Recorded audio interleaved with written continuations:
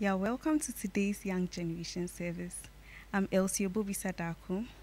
Our preacher for today's service will be Kwame Asafu-Adjaye, Sunday school teacher Ernest Asare. And the theme for today's session is Forgive. Shall we pray? Our Father in heaven, we thank you so much for today. We thank you for our lives. We thank you that we've been able to meet as a family and as a fellowship to hear your word and to worship. We ask that you come into our midst in our bedrooms, in our living rooms, wherever we are, and you speak to us and you touch our hearts. In Jesus' name have we prayed with so much thanksgiving. Amen. The opening hymn is MHB 342.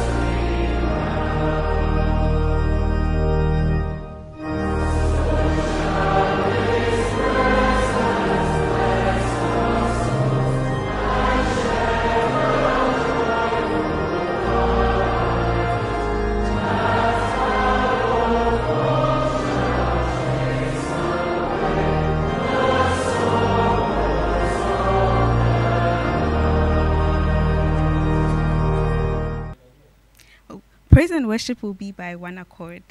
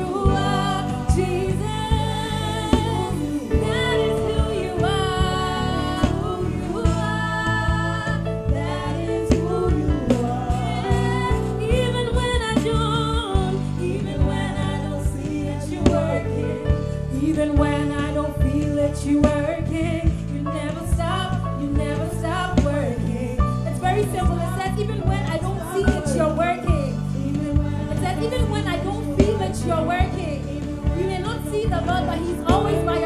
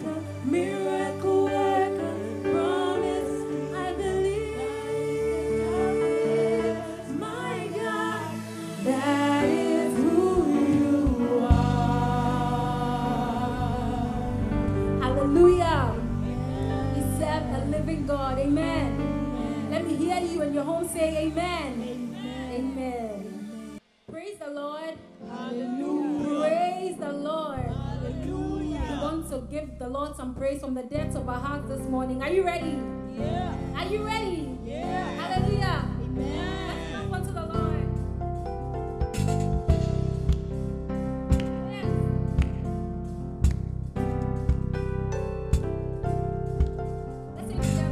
I come before you today, and there's just one thing that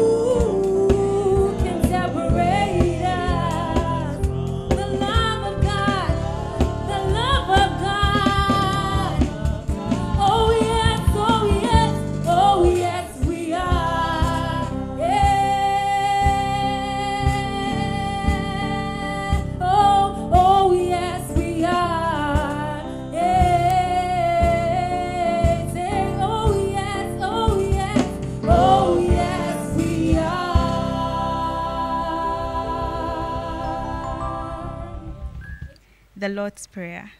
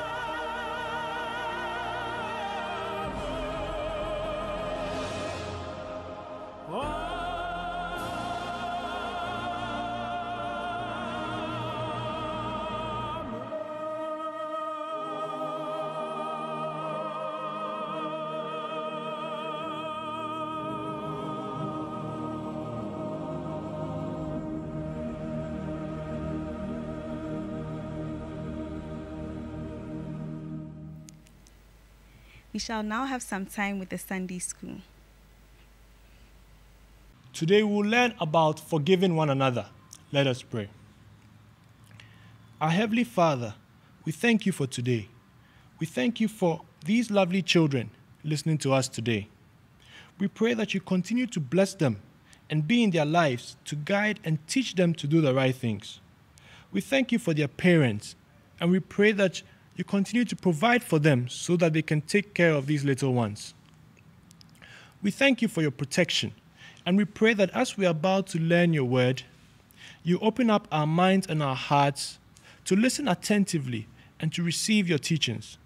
This we pray in the name of Jesus Christ, our Lord and personal Savior. Amen. Sometimes people do things to us that we do not like. For example, someone takes our favorite toy without asking, or our brother destroys something we cherish very well, or someone says something that is very mean that hurts you. Can we think of times when people have done things to us we did not like? And also, what do we do when people do bad things to us? Some of us will want to do the exact same thing to the person who wronged us. If you push me, I'll push you. If you pinch me, I'll pinch you. Some of us will also decide not to talk to the person anymore. And some of us will stop, be, uh, will stop being friends with that person. And others will also try to get that person into trouble every time. And if they do the slight, they, they make the slightest mistake, we are very quick to go to our teachers and our parents to report them. How many of us can honestly say that we will let it go and forgive whoever has wronged us? And how many times will we be willing to forgive someone when he does something bad to us repeatedly? Jesus was once asked how many times we should forgive our brothers and sisters. And his answer was 77 times. I know it would be very difficult to track how many times someone has wronged you and you've forgiven the person. You know, if today someone steps on your, your foot, you've marked one. Someone pushes you, you've marked one, I've forgiven him. It will be very difficult to keep track up to 77 times. So, what I think Jesus is trying to tell us is that anytime we are wronged, we should try our best to forgive whoever has wronged us. There are so many passages in the Bible that talk about forgiving one another. If you look at the story of Joseph, Joseph was sold into slavery by his brothers. He was accused of doing things he did not do and thrown into jail. However, when he had the chance to take revenge on his brothers, he rather forgave them. Jesus once told a parable to his disciples about forgiveness. And this is how it goes. There was once a king who woke up one day and decided to go into the town and look for everyone who owed him money because a lot of people had borrowed money from him and had not paid back. So he decided to go out and collect his money. On his way, he met one servant of his who he remembered owed him a lot of money. So he called him, Hey, come here. I know you owe me some money, a lot of it, and you have not paid back. I want you to pay back today, right now. If you don't pay back, I'll throw you into jail. The servant knew that he did not have money to pay back at that very instance. So he went on his knees and started pleading with the king King, king, I beg you, I do not have your money right now, but give me a little time and I'll pay you back all that I owe you. He continued to plead with the king. And the king had pity on him and decided to forgive him of all the debt that he owed him and asked him to go away. So, on his way, this servant was very happy. I'm sure you can imagine how happy he was that the king had forgiven him all his debt that he owed him. On his way, he met a friend, another colleague of his, who owed him a little bit of money. And this servant, having been just forgiven by the king, had forgotten what had happened. Saw his friend who owed him a little money and called him. Hey, you come here. You owe me some money. I want you to pay me my money right now. His friend looked at him and said, pleaded with him and said, Please, my friend, I don't have your money right now. Give me a little time and I'll be able to pay you back all that I owe you. This servant was not forgiven and asked his friend to pay him back all the money he owed and told him, If you don't pay back today, I will call the guards to send you to jail. His friend continued to plead with him, but he would have none of it and asked the guards to send his friend to jail. The other people in the town saw what had happened and quickly rushed to the king and reported what, what they had seen. They asked him, King, wasn't it that servant of yours that you just forgave all that he owed you? The king said, Yes, I did that this morning. Well, a friend of his owes him money and he has thrown his friend in jail. The king was furious and summoned the servant before him and asked him, Weren't you the same person that I forgave his debt a few hours ago, the servant was very grateful and said, Oh, yes, I remember. It was a very kind gesture of you, my king. Then the king asked him, So why couldn't you forgive your friend that owed you very little money? Because of what you've done. You wicked servant, I will throw you in jail until you pay me back all my money. The servant was then thrown in jail. Some of us are like the servant who could not forgive his friend, even though he had been forgiven for owing so much. But we've also learned from the story that if you are not able to forgive someone, you also not be forgiven. Jesus is trying to teach us to forgive one another. And I know this is very difficult for us to do. For all of us children, even some of your parents find it difficult to forgive. But Jesus is asking us to try. So, I would just ask that if there's anyone who has wronged you, it could be today. You could contact the person, call the person, or sit with the person, let the person know what they have done wrong, and let them know that you've let it go and you've forgiven them. If it were not for the fact that we're in this COVID time, I would have said that you could hug them or shake their hands. But because of social distancing, we are not allowed to do that. In any case, you can still call them and talk to them about this. I hope we've learned a lot from this lesson. And we've, um, we've learned a lot from this lesson, and we're going to put it to practice. And if anyone wrongs us, we'll do our best to forgive them. Before we go, I would want us to learn a memory verse. And this memory verse is from Colossians chapter 3, verse 13. And I read Be tolerant with one another and forgive one another whenever any of you has a complaint against someone else. You must forgive one another just as the Lord has forgiven you. I know this verse may seem a little long, so I would suggest that we only learn the last part of the verse. Colossians 3:13b. You must forgive one another just as the Lord has forgiven you. Colossians 3:13b. Amen. The parable we learned today also can be found in Matthew chapter 18 verse 25 to 35. If you have time, you can read this later. Shall we pray? Our Heavenly Father, we thank you for all that you've taught us today. We pray that you touch our hearts so that we'll be able to forgive our friends or anyone who has done anything that we do not like. We pray for your continuous protection and blessings. In Jesus' name we pray. Amen. The first scripture reading will be taken from Genesis 50, verses 15 to 21. Genesis 50, verses 15 to 21. It reads When Joseph's brothers saw that their father was dead, they said, What if Joseph holds a grudge against us and pays us back for all the wrongs we did to him? So they sent word to Joseph, saying, Your father left these instructions before he died. This is what you are to say to Joseph. I ask you to forgive your brothers the sins and the wrongs they committed in treating you so badly.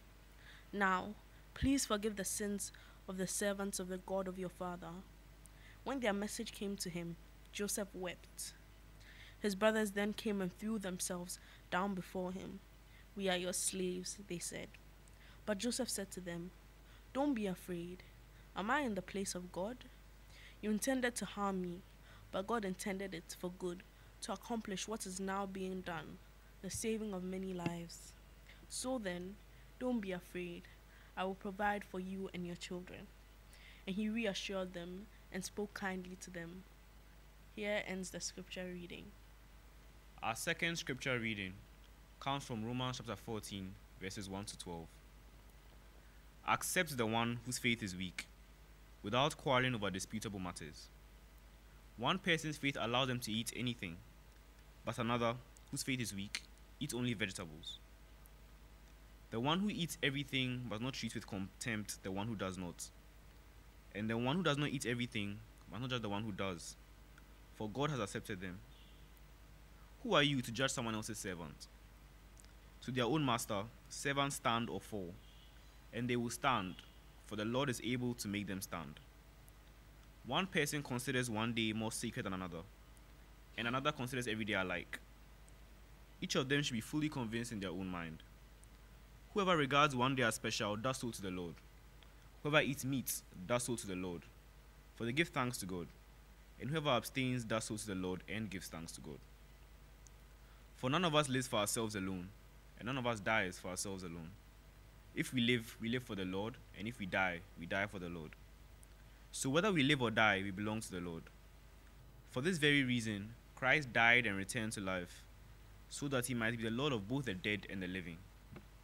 You then, why do you judge your brother or sister? Or why do you treat them with contempt? For we will all stand before God's judgment seat. It is written, As surely as I live, says the Lord, every knee will bow before me, every tongue will acknowledge God. So then, each of us will give an account of ourselves to God. Here ends the scripture reading. Our gospel reading will be taken from Matthew 18 21 to 35. Matthew 18 21 to 35, the parable of the unforgiven debtor. Then Peter came to him and asked, Lord, how often should I forgive someone who sins against me? Seven times? No, not seven times, Jesus replied, but seventy times seven.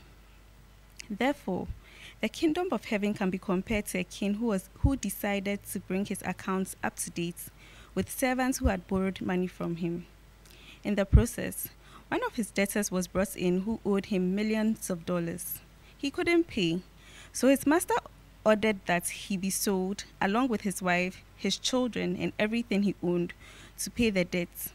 But the man fell down before his master and begged, Please be patient with me, and I will pay it all.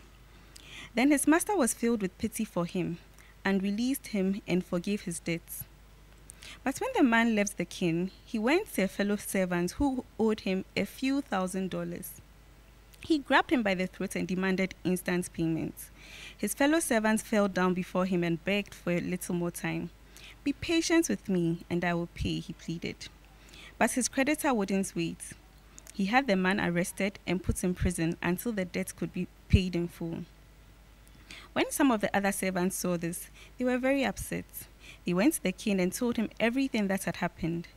Then the king called in the man he had forgiven and said, You evil servants, I forgave you that tremendous debt because you pleaded with me. Shouldn't you have mercy on your fellow servants, just as I had mercy on you? Then the angry king sent the man to prison to be tortured until he was paid until he paid his entire debt. That's what my heavenly Father will do to you if you refuse to forgive your brothers and sisters from your hearts. The word of the Lord. The hymn before the sermon is MHB 669 Dear Lord and Father of mankind.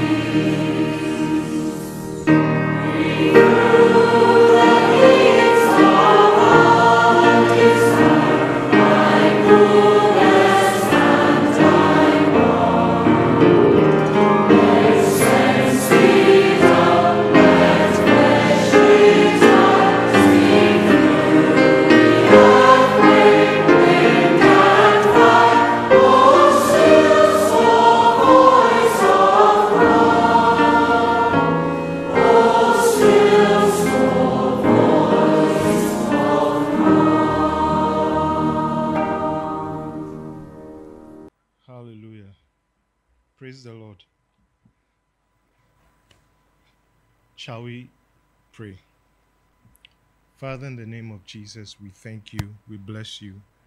We give you all the glory. We give you all the praise. We say that you are the King of kings and the Lord of lords. You are the Alpha and the Omega, the beginning and the end, the start and the finish. You are our very good God, the God that gives us life. You are the God that gives us all that we need. You know our needs and you take care of us. We worship you. We adore you. We pray that this morning you will dispense life to all of us, that your word will bring healing, life, and deliverance to all of us. In Jesus' name, amen. Our theme this morning is forgive. It is one of those things that um, is easy to tell somebody to forgive, but you you find it difficult yourself if you're in their shoes. Amen. To forgive is not an easy thing because of the pain and hurt it comes along with. You can hear the whole world say that, you know, let go, you know, uh, forgive and forget. It's not that easy.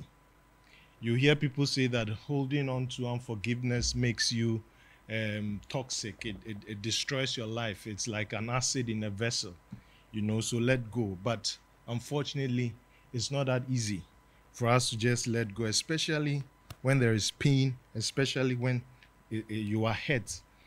Okay? And forgiveness is especially extremely difficult when you have been betrayed by a loved one or people you trust. It could be a parent, it could be a friend, it could be a lover. A friend that you regarded as your confidant and shared all your intimate secrets with, but then he betrays you. A family that you thought you know would stand by you and provide for you, but they abandon you and cast you out like like Joseph. It could even be your own God when you're expecting a certain thing from him, when you have prayed for something that for perhaps you know he keeps your your your loved one from dying and the person passes away. You can hold on onto bitterness, you know, even toward your God. And it could also be yourself when things that you've done in your past haunts you. It chases after any time you remember some of the things you have done, your heart, your heart just eh, you you you jump because of the things that you've remembered, and there's so much pain. Amen. It is the pain and the hurt that makes forgiveness difficult.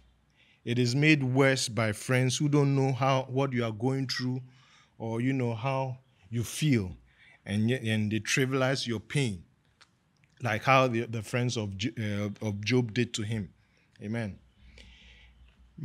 So, forgiveness is not an easy thing. People can tell you to forgive, but then it's not that simple. On the outside, it looks, you may look okay, you may pretend that you are fine, but on the inside, you have, the, uh, you, you haven't forgiven the person, the pain is still there. This morning, we want to find out how or explore some of the ways that God has, has given to us in order to help us forgive. Amen. Like everything regarding our new birth, it starts and ends with trusting our Lord Jesus.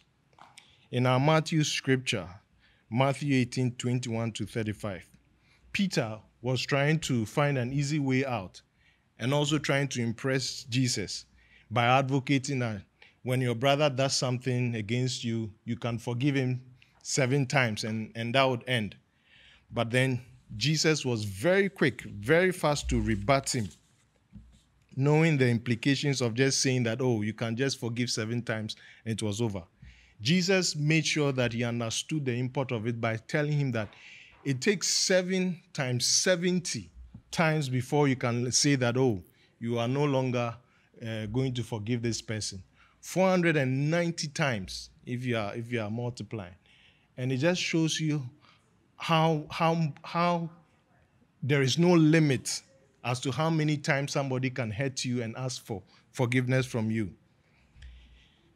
In that same scripture, Jesus went on to tell the, about the parable of the servant who couldn't forgive his fellow servant, even though he had been forgiven by his, his own master okay, the the point of that parable was the fact that one cannot look to Christ and what he has done and continue in unforgiveness. In its simplest form, we need to look at the Father and what he has done, and it will be easier for us to forgive. Just like the Lord's Prayer says that, you know, um, we forgive others as you have forgiven us. Amen. So the point is to look at God, is to focus on Jesus Christ and then and and and, and understand your own self before forgiveness can come. Amen. If we deeply consider and meditate what God has done for us, it puts us on the path of forgiveness.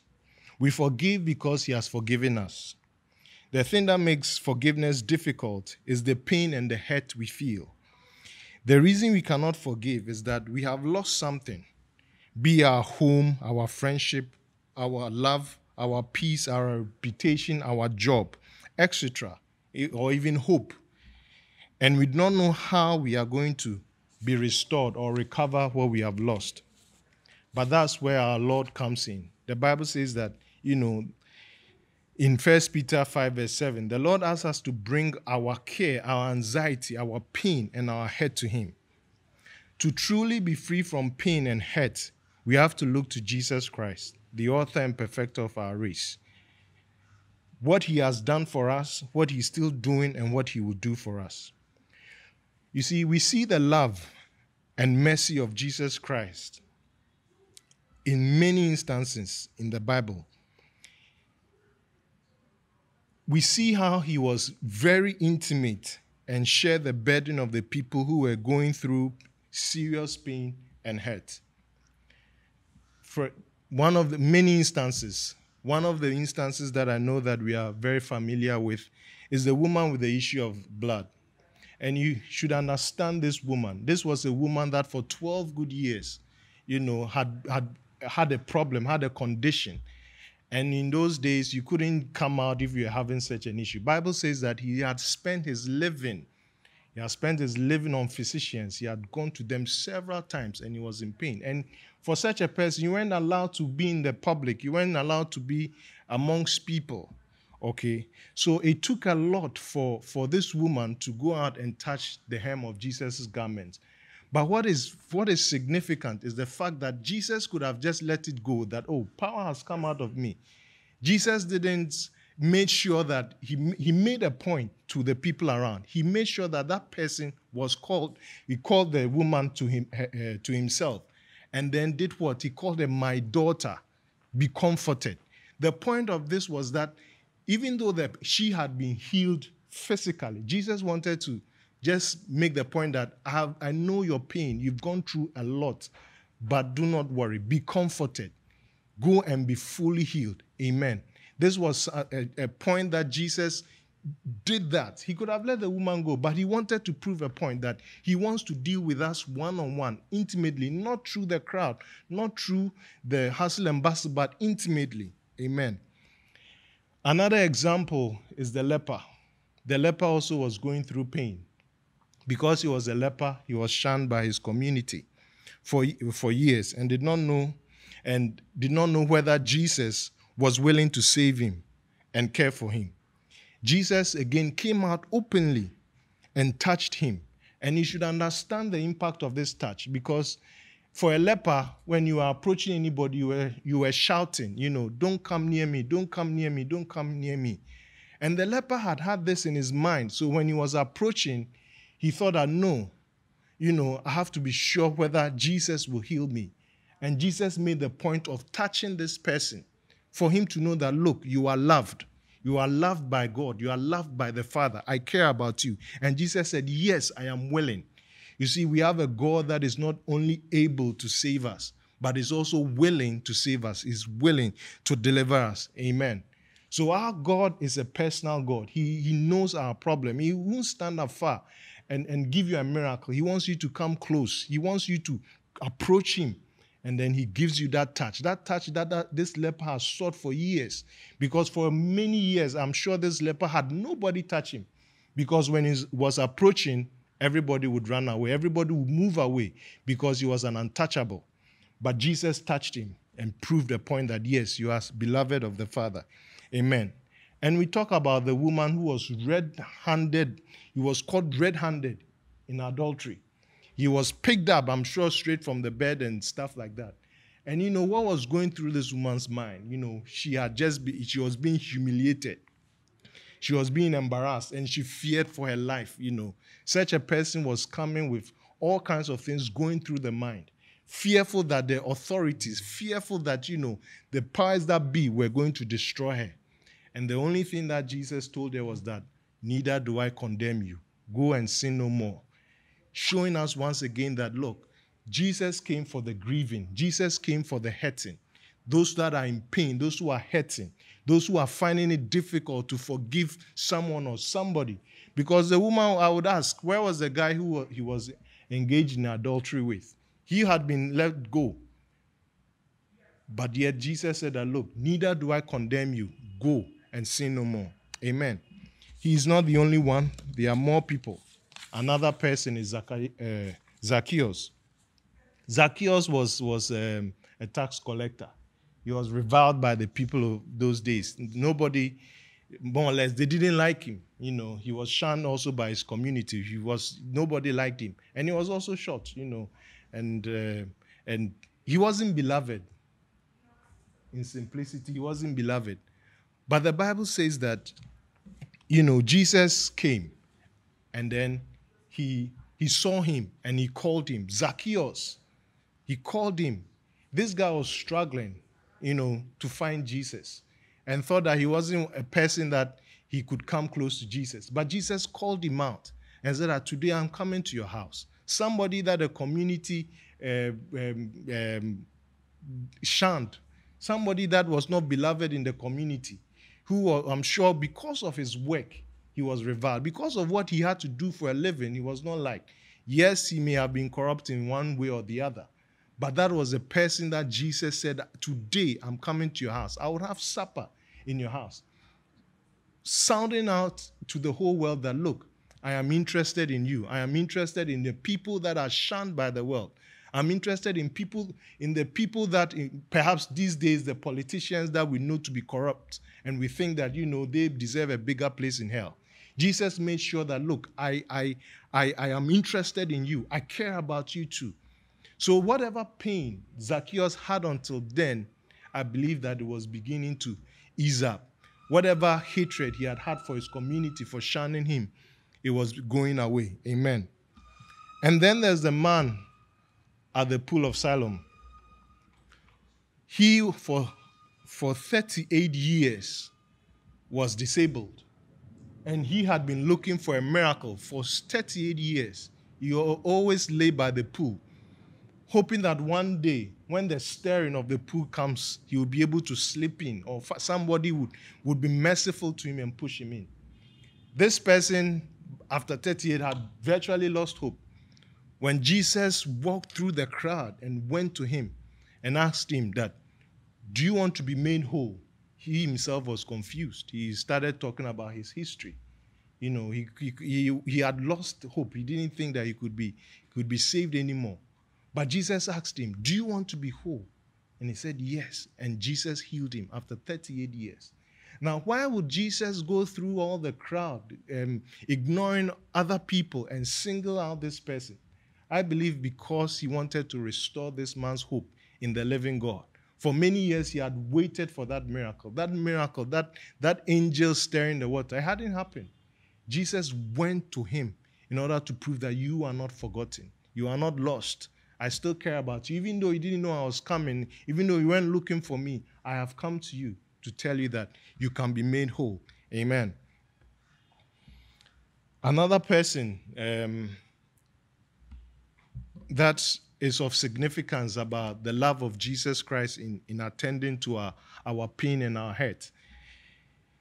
Jesus had, had gone to minister somewhere and, and evening had come, you would have thought that Jesus would relax.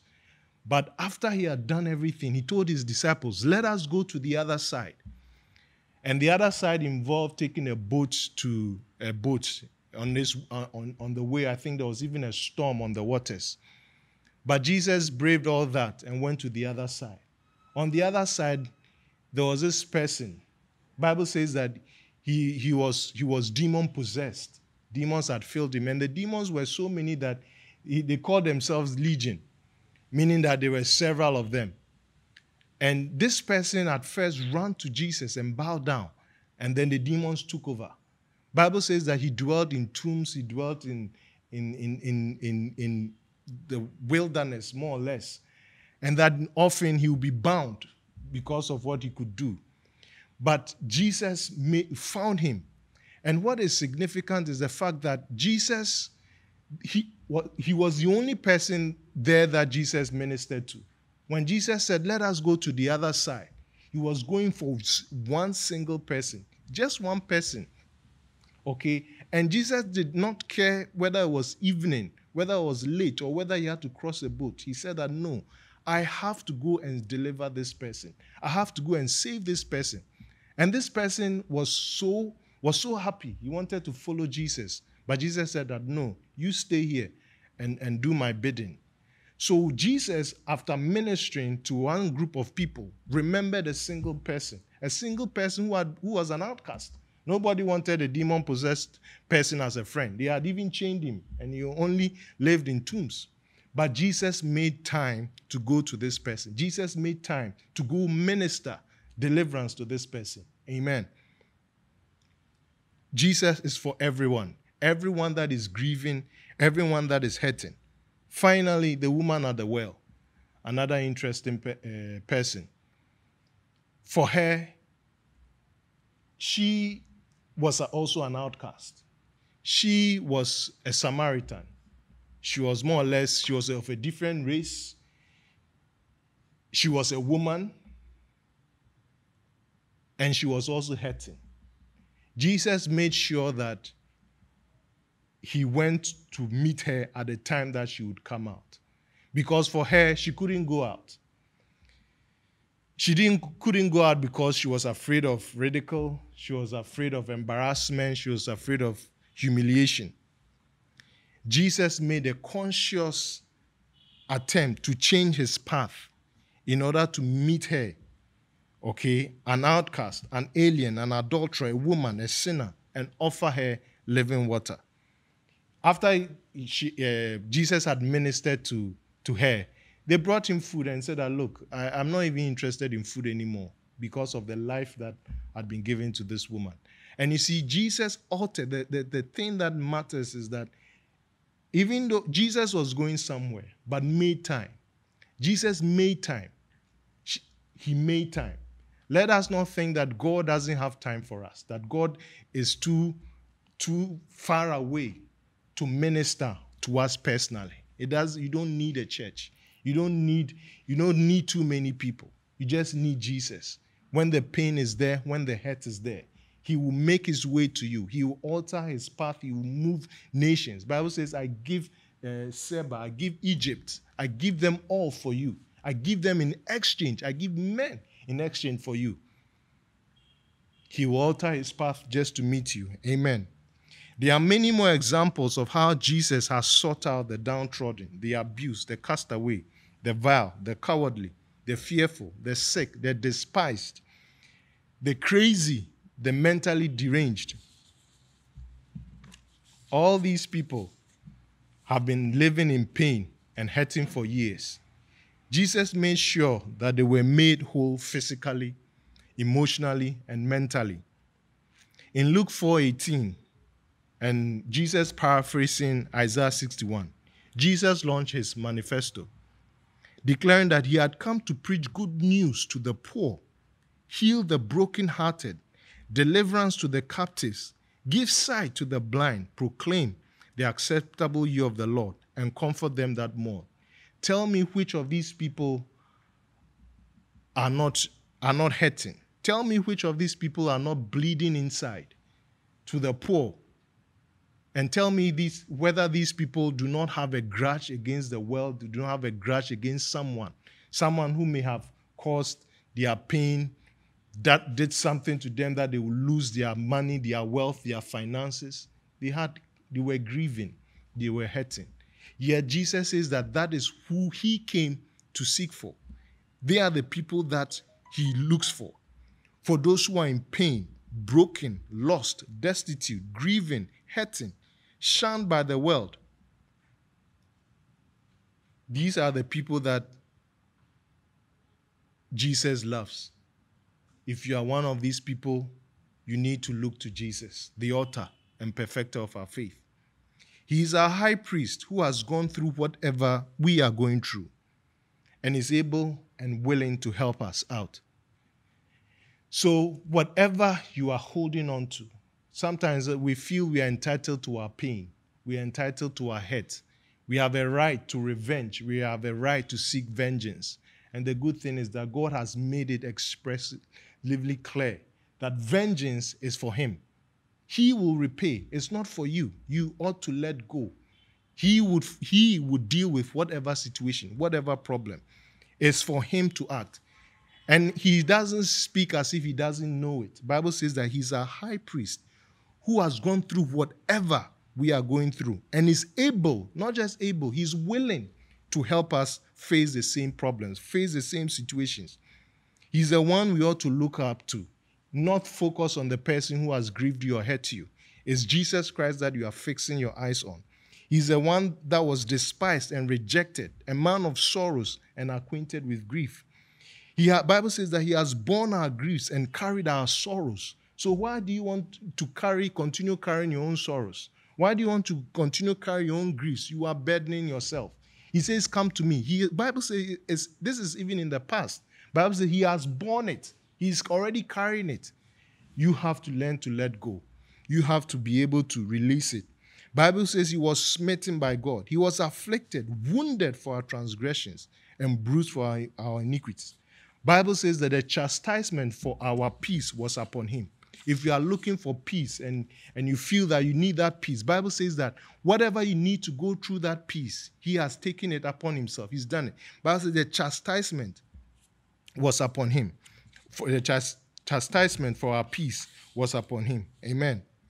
Indeed, the Bible says that of his fullness have we received grace for grace, blessing for blessing, favor for favor. Amen.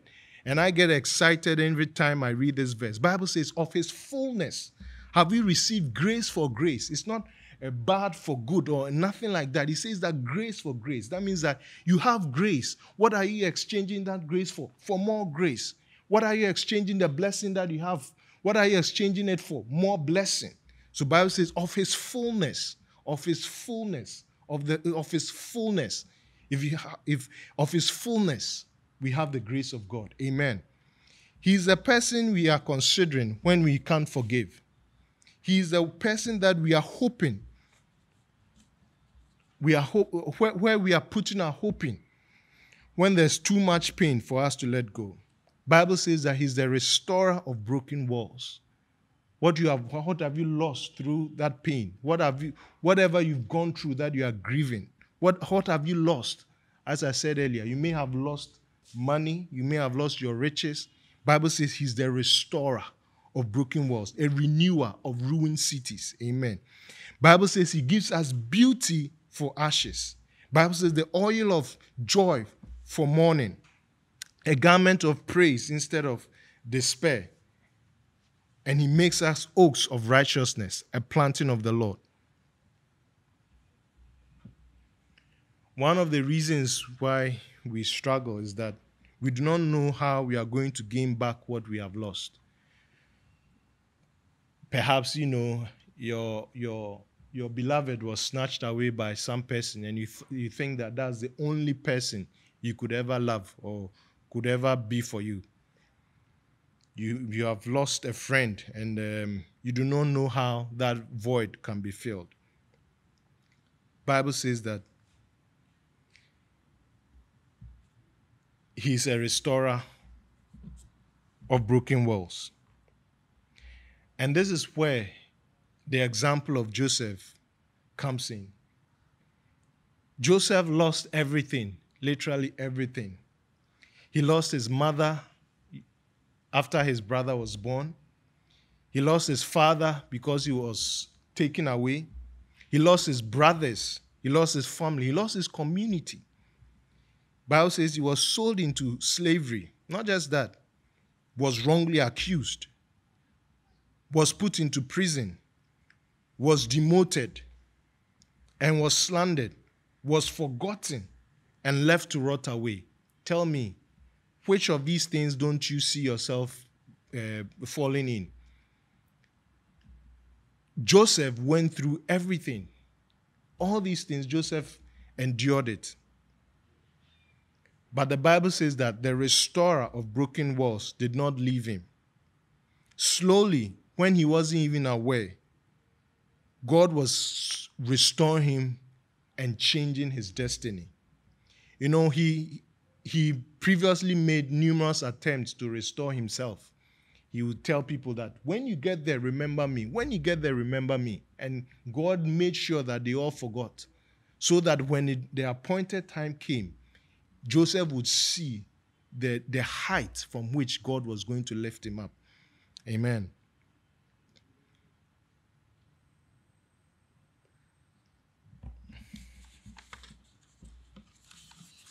Joseph was restored, not just physically, but God, God gave him a new community.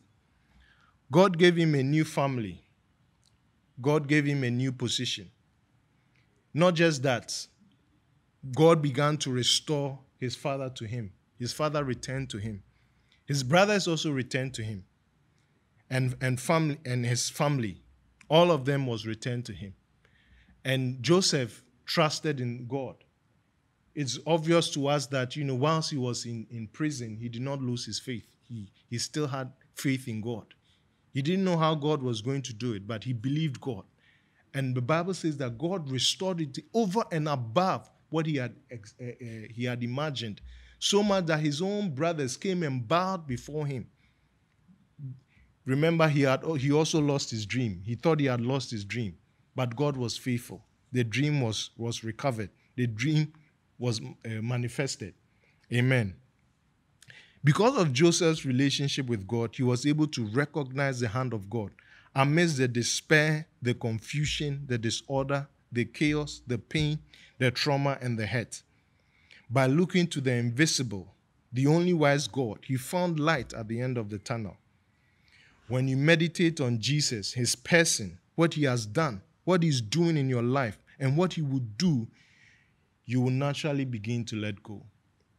When you are focusing on Jesus Christ, when you are, your eyes is fixed on Him, you lose sight of those who have hurt you, of the things that have hurt you. And by looking to Jesus, you are, it's easier to begin to forgive.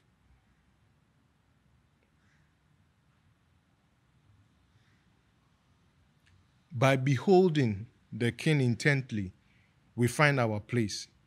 Your focus will no longer be on those who hurt you, but on but on the table he has prepared for you. Amen. Let us fix our eyes on Jesus and forget the rest and forget how somebody has hurt us. Let us not be, be bound by the pain. The pain, Jesus says that he's taking it away. Jesus says that he's doing away with it. Jesus is the restorer of broken walls. He is the one that takes care of us. I want to tell you that this is not this is not difficult. Bible has called us not to try but to trust him. We are called not to to try and, and forgive, but to trust God. By beholding Jesus Christ, by seeing what he has done and the examples of other people who have been through pain, who have been through hurt, we fix our eyes on Jesus. When there is pain, when there is pain and hurt, the person has hurt you, has hurt you so badly, you don't know what to do. Turn to Jesus. He won't, he won't cast you out. He is more than able to do it.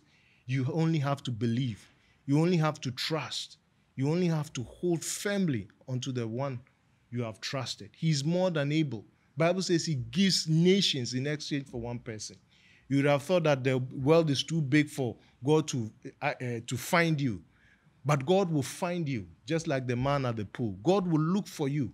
He will find you. He knows what you are going through, especially when there's no one to help. God will find you and heal you. God is waiting for you to come to Him. God is waiting for you to present the problems to Him. God is waiting to present you for you to present your issues to. What have you lost? What have you lost that you think cannot be gained? You can gain everything back. You can gain everything back. You only have to hope in, men, uh, in God and not in men. Trusting in God is, is, is the ultimate. It's not that, and He's not, some say that He's slow, but He's not. God is always timely. God is always timely. He will never let it, you go like that. He will make sure that He meets you at the point of your need. Bible says in His time, He makes all things beautiful and you have to he's, he's painting a beautiful picture you have to learn to trust him you have to learn and it's interesting the scripture we've been using from hebrews 12 bible says the author and perfecter of our race and the, the, the interesting thing is that he's the author meaning that he's the one that is writing the story and for every good book that has an underdog the more the person is deemed an underdog, when the person is lifted up, is, is just beautiful. It's just lovely. Amen. So God is able, able to heal you. And I want to add from what the leper said. God is not just able, He's willing. He's willing to be, take, up, take up your burden. He's willing to carry that cross for you. He's willing to ease your pain. In fact, He's already done it. Bible says He has borne it already. He's taken it all upon Himself. So why are you still holding on to that bitterness? So why are you holding on to that pain? It's not yours. Give it to God. Vengeance is, is for Him, He will repay. When God is punishing, He knows how to punish. You cannot punish enough. And why do you even want Him to punish? Amen. The Bible says that love does not keep a record of wrongs. How many times can you keep a tab? 490 times. It's impossible. It's insane. Look to Christ. It makes it easier to let go. Look to Jesus and you'll be freed from your burden. Look to Jesus and you'll be delivered. Look to Jesus. Bible says that's you are the person that Jesus came for. Your pain is why he came. Your hurting is why he came. He came for nothing else. He didn't come for the righteous. And that's what another point that he made clear when people said that he was a sinner because he had been to Zacchaeus' house. He said, I did not I came to seek and to save that was lost. Emphasis on seek. He's looking for you. Why do you think God is far away? God is close to you. God is waiting to reach you. God is waiting for you to take a, your time and just look his way. Just come to him. And he asks you, Do you want to be made whole? Do you want to be released from pain? He's more than willing. Come and be made whole. Come and be made whole. Bible says his burden is light. His yoke is light. His burden is light.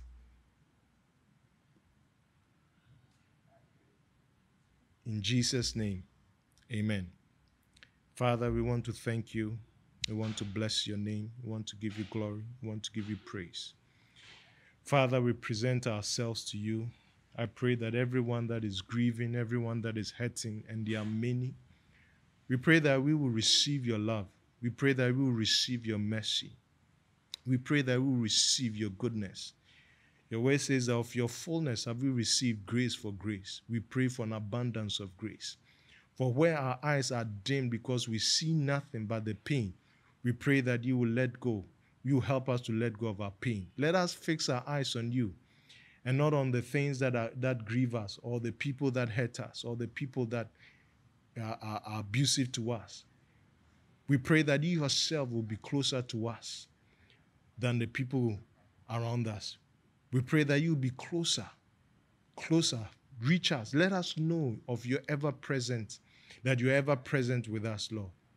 I pray that you will bring healing and deliverance to all of us, just for eh, like all the people that we've talked about. Bring healing to us. Let us be healed. Release your love and your mercy to all of us. Jesus, we thank you. Jesus, we bless you. We give you glory. We give you praise. In Jesus' name, amen. The Apostles' Creed. I believe in God the Father Almighty, maker of heaven and earth, and in Jesus Christ, his only Son, our Lord, who was conceived by the Holy Ghost, born of the Virgin Mary, suffered under Pontius Pilate, was crucified, dead, and buried.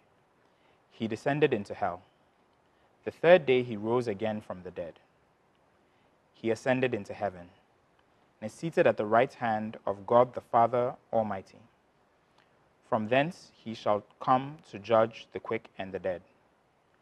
I believe in the Holy Ghost, the holy Catholic Church, the communion of saints, the forgiveness of sins, the resurrection of the body, and life everlasting. Amen. Let us enter into a time of intercession. Let's pray for our nation, Ghana. Let's pray for the leaders of this nation that God will be with them as they make and take decisions for the nation, that He will guide them and He will speak to them, and that His will will be done in our nation. Let's pray for peace for our nation, even in these elections, even during this pandemic. Let's pray that He will protect the members, the citizens of this nation.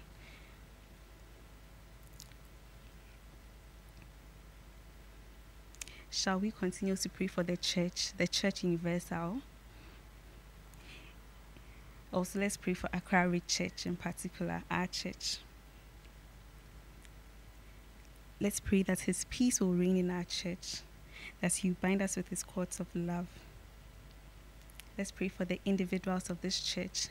If anyone has lost a loved one, if anyone is ill, let's pray that God will be their source of comfort. God will be will touch them with His healing hand. If anyone lacks, let's let's pray for financial provision for them. Yes. As we pray for individuals as well, let's pray for ourselves. We know what we are going through. We know what we seek from God. Let's commit it into His hands. He says we should commit our ways and He will guide us. So let's ask for guidance too. Let's ask that He orders our steps. All right, shall we pray? Father in heaven, we thank you so much for today. We thank you for our lives. We thank you for the word. We thank you for whatever you taught us on forgiveness. When we ask that you help us apply it in our daily lives, you help us act just as you would. You help us be your representatives on this earth. We ask that you be with us throughout the week as we go in and out. You grant us traveling mercies. So that next week we shall meet again, even if it's online. We shall meet again to continue to praise and glorify you. In Jesus' name have we prayed with so much thanksgiving. Amen. We will now take our welcome message.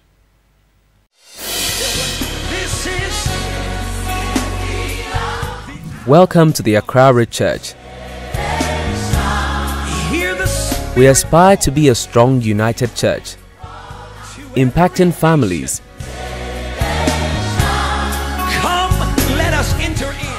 communities, Bow down and worship Him.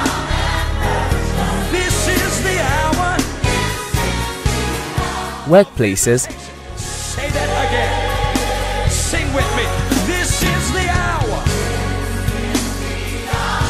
and nations for Christ. Hear the Spirit calling. Offertory will be led by One Accord. Yehovah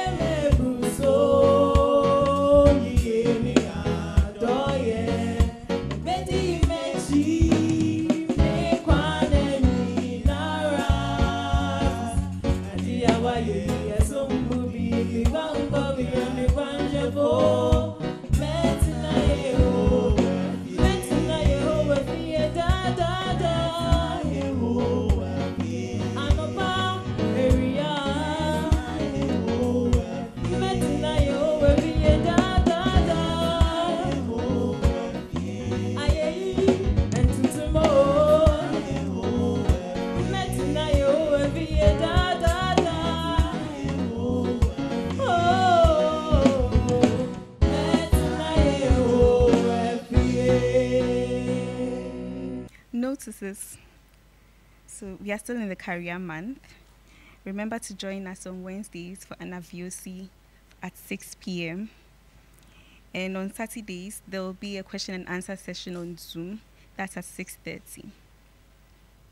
Also, please remember to book your seats on the link. It will be in the description below for Sunday service next week. The closing hymn is MHB 347. Come, O thou all victorious Lord.